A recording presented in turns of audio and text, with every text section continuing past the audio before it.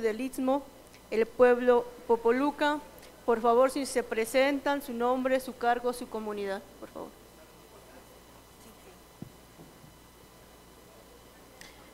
Piali Nocnigua, Yesni Timonechcostoque, Nes no toca Genoveva, este, Nes eh, indígena, igual que Nochi de Amejemen, este, Nes Ninahuat, el sur de Veracruz, eh, Nehem Nihuitze, Panse- procesos de articulación, este, Guanucnimes Popoluca, Guanucnimes Náhuatl. Bueno, buenos días compañeros y compañeras. Eh, mi nombre es Genoveva González Gómez. Yo vengo de, de una comunidad, soy náhuatl y vengo del sur de Veracruz. Mi comunidad se llama Huazuntlán. Eh, y un poquito nosotros venimos representando al proceso de articulación de la Sierra de Santa Marta. Eh, quien estaba encargada como de, de esta primera parte con, con mis hermanos los Popolucas era la compañera Maribel Cervantes Cruz, pero ella está un poquito presentara. Eh, los compañeros que están aquí al lado de mí son, este, son popolucas de la comunidad de Santa Marta que pertenecen al municipio de Sotiapan, Veracruz, allá en el sur. Eh, tenemos, por ejemplo, al agente municipal que se llama Emeterio Rodríguez Ramírez y al Consejo de Vigilancia, Luciano Cruz Rodríguez. Ellos les van a platicar un poquito pueblo popoluca. Bueno, bueno, Chuzoyam, Inchumbuya, Chuzoyam, Ejército Zapatista. Buenos días, hermanos, y buenos días, Ejército Zapatistas de la Liberación Nacional del Congreso Nacional Indígena.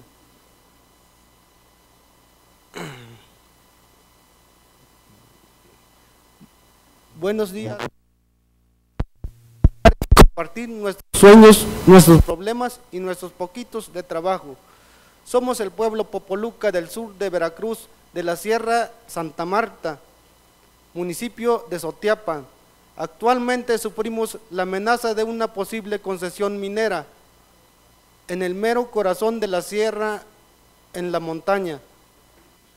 Santa Marta que afectaría a todo el territorio Popoluca mediante la contaminación del agua, el aire y la destrucción de la montaña. Para esto ya hemos empezado a hacer pláticas, reuniones y asambleas con autoridades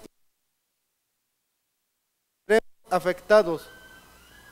No es fácil este trabajo, pues dicen que mientras no vean maquinarias allá arriba, no van a creer.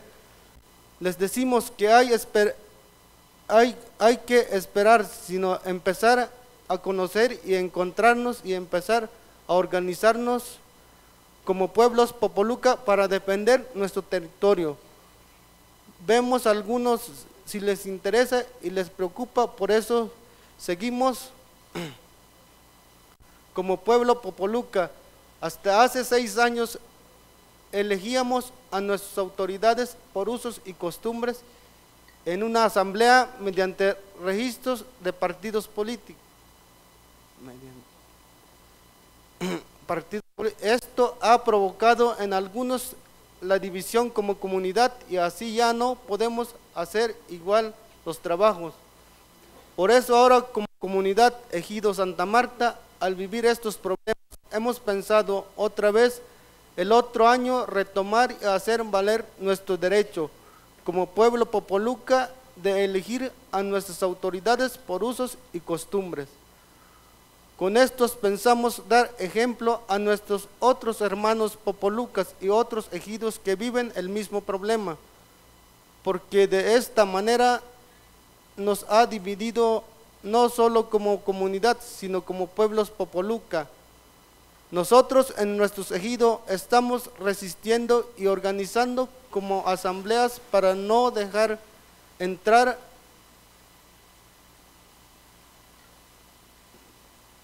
programas de gobierno del Procede y ahora FANAL, porque sabemos que este programa nos va a dividir. A nosotros como comunidades, como pueblos, nadie nos informa, nadie nos, nos dice la verdad. Vivimos engañados por una radio.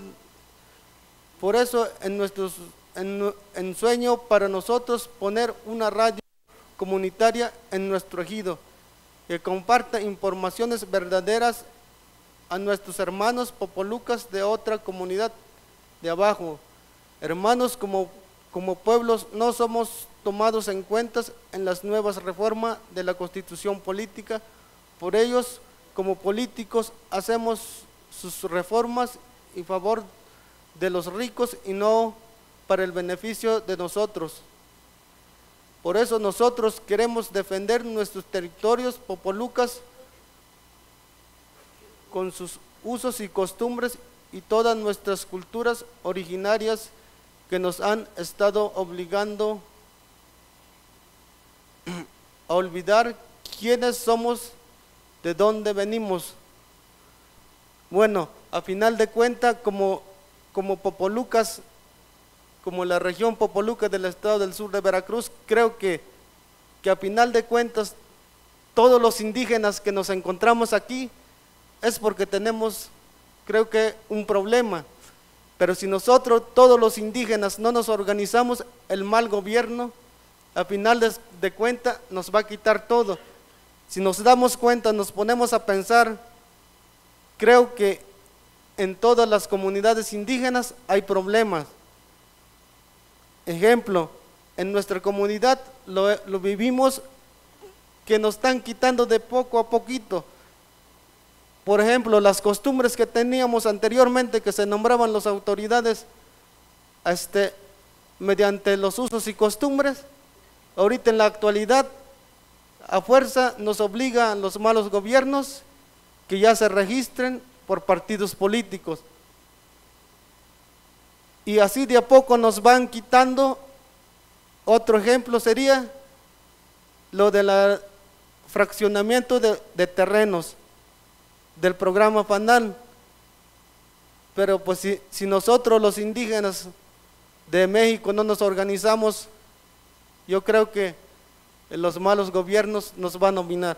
Pero si nosotros nos organizamos, yo creo que el sueño que tenemos y la esperanza, nosotros creemos que, que si, le- si nos le echamos ganas, nos ponemos las pilas, ahora sí que a lo mejor sí lo vamos a lograr. No, muchas gracias.